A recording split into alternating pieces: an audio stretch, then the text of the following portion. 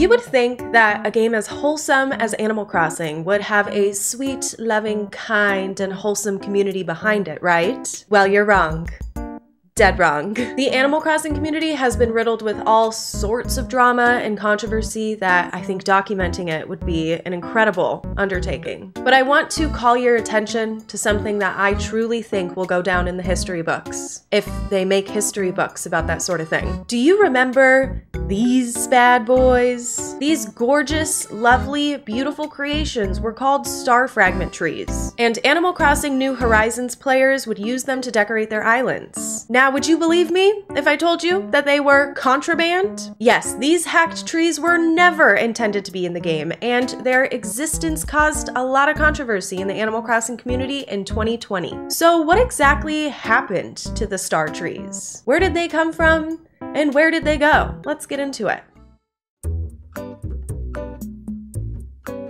Let's take it a step back for those of us that aren't super familiar with Animal Crossing New Horizons. Star fragments are items added in New Horizons that can be obtained through wishing on shooting stars during meteor showers. The occasional NPC visitor, Celeste, will give the player DIY recipes that are craftable with the varying types of star fragments. All of the different colors of star fragments indicate a different zodiac sign, and there's also just a regular and large one too. These little guys are aesthetically based on Konpeito? Excuse my my pronunciation there, which is a Japanese candy. And they also remind me of those cute little lucky stars from elementary school. It's no wonder that the players love these star fragments. They're cute, glowy, and just so exciting to stumble upon in the game. People would use them to craft celestial decor for their islands and also just drop them on the ground, give their islands sort of a pop and pizzazz. The items that use star fragment DIYs were popular amongst those attempting the fairy core aesthetic for their Animal Crossing islands. Modders in the Animal Crossing community were quick to create the infamous star fragment tree, as well as other trees with items such as acorns, pine cones, cupcakes, anything. You name it. It was probably on a tree. They did this hack by doing all sorts of techie shit that I don't know anything about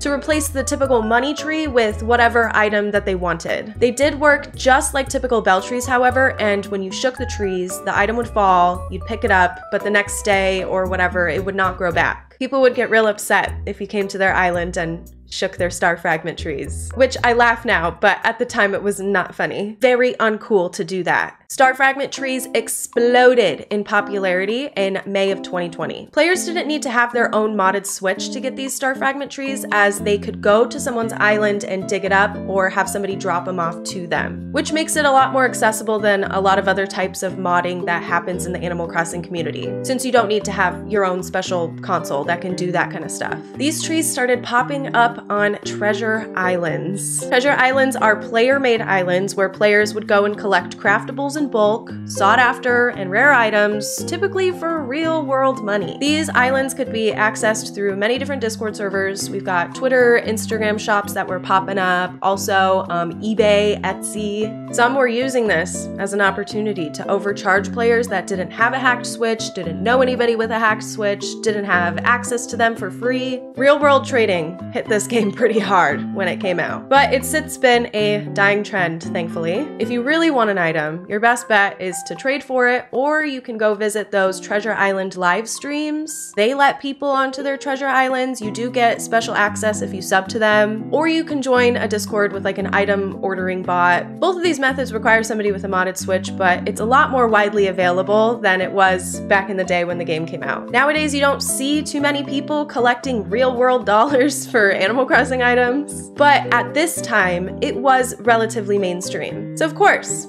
People would try to make a quick buck. Oh, and people definitely did get scammed. And of course, you could only obtain these trees if you had purchased a Nintendo Online subscription so that you could go visit people's islands, trade, all of that. And this did lead to a rift between players who had Nintendo Online and those who didn't, but We'll get to that later. Players started to go to town with these hacked item trees, decorating their islands and posting cute aesthetic photos on Twitter and Instagram. These posts were gaining popularity fast, and tons of people were asking how they could get their hands on one of these amazing star fragment trees. However, since these trees were considered to be a hack or a cheat even, the Animal Crossing community was pretty divided. There are a lot of Animal Crossing purists out there, as there are for a lot of video games. Nintendo games seem to be um, especially notorious for that. I would say the large majority of people, though, were all for Star Fragment trees. But there were people who did vocalize their disdain for hacking in general, and so they were against them.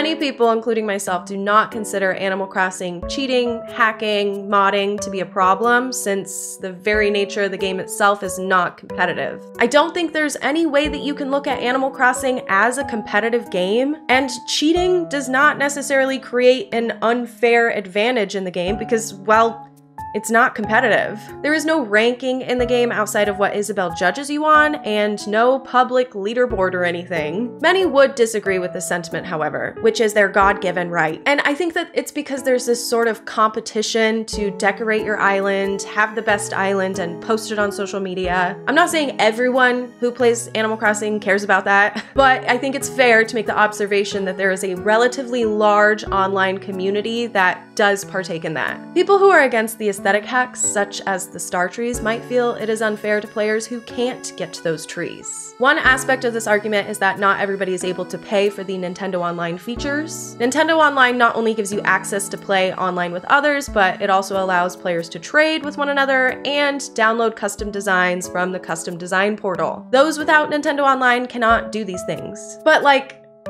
Come on, if we're gonna get technical here, inserting my opinion again, I say that the argument that getting star trees is unfair because not everyone can get Nintendo Online is like the same as being like, oh, well, not everybody can get custom designs, so custom designs are unfair. Not everybody can sell their turnips for the highest price on somebody else's island. That's unfair. And then I think we're just getting way too deep into it and it starts to become a ridiculous argument. I think it's just something to think about. Like I said, the anti cheating sentiment has been around for a very long time. There are people who also believe things like time traveling to be cheating as well. And while that doesn't involve hacking or modding in any way, time traveling, if you're not familiar, is where the player changes the time of the device that they're playing on, which which changes the time in Animal Crossing as well. Players choose to time travel for many reasons, such as kicking your villagers out easier, avoiding waiting overnight for buildings to be built or moved, etc., etc. However, there is a significant portion of the player base who time travels because things like work or school prevent them from playing during times of the day that say the shops are open. And so they set their clocks back a few hours just to be able to play at better times. Or maybe they're like me and just prefer to play during the sunshine. Or they hate the 2 p.m. hourly music and can't stand it and need to time travel away from that at all costs. Packs and mods have also been around in the Animal Crossing community forever. I remember being able to plop trees and weeds in the river in New Leaf, and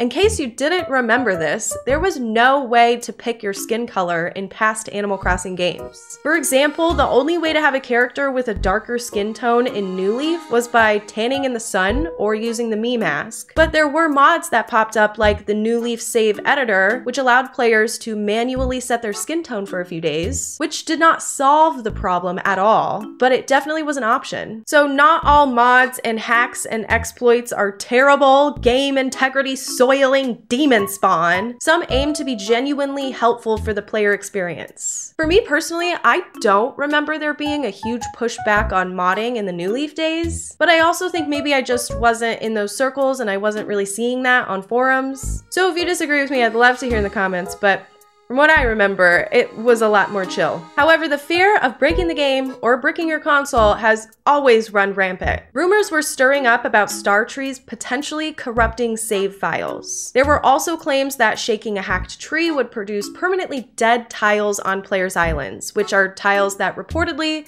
could not be interacted with or modified in any way with no reversal. These type of rumors pop up in any game all the time ever, but this type of fear mongering I feel really runs rampant in the Animal Crossing community for some reason and unchecked. Over the years, I've seen these types of posts go viral many times for past Animal Crossing games and while bad stuff does happen, it's not always the most accurate information that goes viral. Corrections simply just don't get as much traction or attention as the initial posts do. So the scary rumors about broken consoles and corrupted game files just kind of live on in infamy. The fear is not unfounded, however, as there have been plenty of documented instances of people's game files corrupting and players losing all of their island progress, even on the Switch and in New Horizons. My friend Wilbo did share a photo from Abdallah Smash's video where modders would put any item on a tree, and trees with bigger items would actually create dead tiles when shaken. However, I don't think that there's any anecdotes of this happening with the star trees, heart trees, cupcake trees, acorn trees, yada yada yada, because they are small little tiny petite items. If you're skeptical, you can always back up your save data regularly. And of course, I recommend that if you're going to be modding or doing anything. My theory as someone who's never had a modded Switch, never modded a Switch, never done anything crazy techy or cool like that, so take this with a grain of salt, is that I think this just happens more often to modders themselves that are experimenting with all sorts of nefarious things, rather than the players that were like going to pick up star trees. But it does happen. Like one time I did pick up an internal item from a friend who was modding their Switch,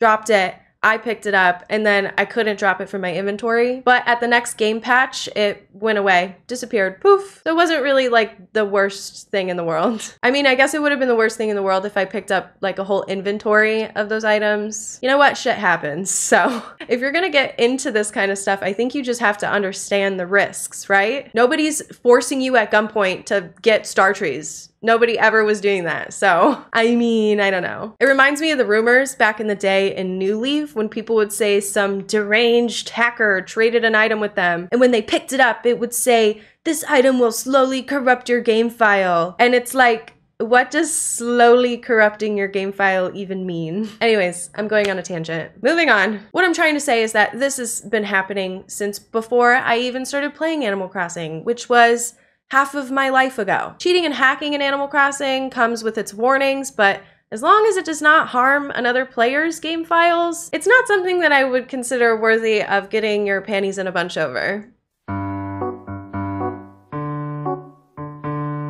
Before the Dream Suite was added to the game, the Star Fragment tree controversy kind of died down a little bit. It was very much like do whatever you want to your own game. That was kind of the sentiment, whether you liked them or not. But on July 30th of 2020, the Dream Suite was added into the game, which allowed players to upload a version of their dream for other players to come visit. Those who had Star Fragment trees and hacked items were wary of uploading their islands to the Dream Suite because the Dream Suite came with a reporting feature, of course, as it should would. Players that would get their islands reported would get the islands obviously taken off of the Dream Suite, and I've also heard of people getting banned from Nintendo Online, maybe for being a repeat offender. Players who did upload their Dream addresses faced mass reporting for cheating from other disgruntled players in the anti-Star Fragment community. There was also a certain kind of content that popped up at the time where content creators would go and seek out these players with star trees and report their islands. These content creators would not only encourage their communities to report the islands, but also harass them on social media. One of these creators, that I will try not to name myself, um, was pretty unliked by members of his own community, the Pokemon community, for basically being like a drama starter, pot stirrer, and well, his habit of trying to get people banned from doing hacks and mods and cheats in Pokemon. I actually wanted to share something, a diss track about this YouTuber that I thought was hilarious. My is so stupid they call it What an era. Also, I thought that it was absolutely hilarious for this creator to take the moral high ground on something like hacking when his island flag was a lewd image of Isabelle from Animal Crossing. Absolute class act. Things really blew up in the community when this same Pokemon YouTuber posted a video on July 30th, 2020, showing his subscribers how to use the report feature in the New Horizons Dream Suite that I will remind you had just been added to the game that day. In his video, he told players Now, the funniest thing about this is how mad people are getting when their cheated islands are being removed. You have absolutely no right to be upset, and you shouldn't be cheating in the first place. True cop behavior, folks. Most of the video shows him using Twitter search terms to find islands using the hacked items, visiting said islands, reporting them for cheating, and encouraging his followers to do the same. This YouTuber's antics stirred up so much back and forth on Animal Crossing Twitter. Players were removing their own social media posts, photos, any mention of hacked items on their islands. People were going private, of course, to avoid the wrath of said YouTuber's community. Not only would they go and harass people on Twitter, Instagram, um, they would seek out maybe people's Etsy shops and go report and harass them on there. Truly, what a fun time, right?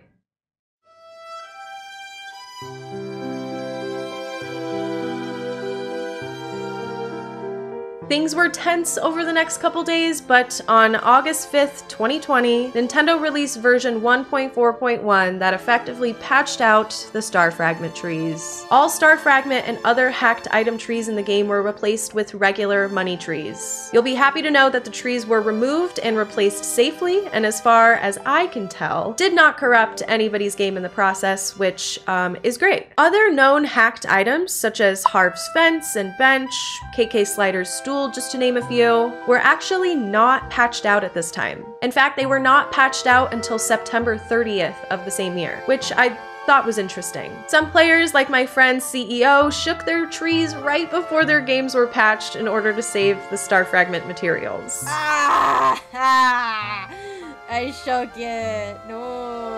A lot of Animal Crossing fans online voiced their frustration and anger towards Nintendo for removing the trees, especially those who paid real world money for them. And even though that's obviously against the rules, it doesn't mean that people weren't disappointed. The blame was pointed in many directions. Many looked towards the notorious hacking police YouTuber for calling attention to the exploit, and I don't blame them. It seems to have drummed up enough controversy to get Nintendo's attention and to get a quick fix out. It obviously takes a lot of preparation to do patches like that. Now, I don't want to give anybody too much credit, but timing is interesting. It's safe to say that many in the Animal Crossing online community were really upset to see these trees go. A petition even popped up to bring them back to the game legitimately and got as many as 3,000 signatures. I think people were mostly understanding of Nintendo's decision to patch the trees out of the game. Game developers have to keep an eye on exploits, hacks, bugs to a degree, but something that could have potentially helped the situation was to add the trees as a legitimate gameplay feature. Solutions such as being able to plant star fragments and other craftables in the ground to grow a tree themselves were presented. Nintendo is not necessarily famous for having a dialogue with their fans or caring about ideas or what they have to say. So I think it's safe to say that the suggestions fell upon deaf ears and that was never added into the game. At the time, I think plenty of people in the Animal Crossing community were frustrated and angry at the game itself, and it seemed like Nintendo was just taking away all the fun.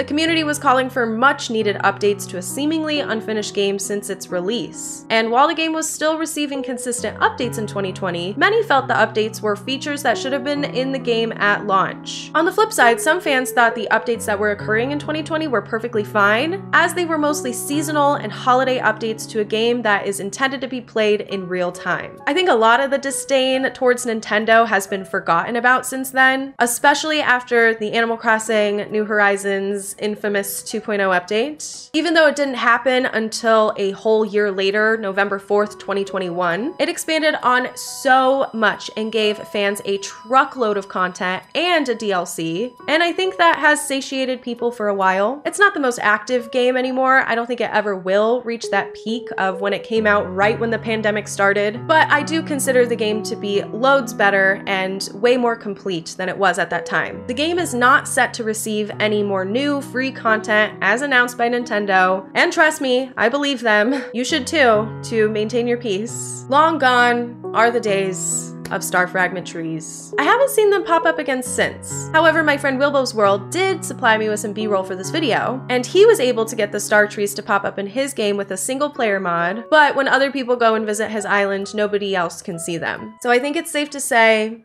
that star trees are gone forever. Rest in peace, star trees. Whether you love them or hated them, you have to admit they were beautiful, totally cool, super fun, and would have been a welcome addition legitimately as a legit item in the future. I guess I will leave you with these sentiments. Play Animal Crossing however the hell you want to, and don't be a fucking cop.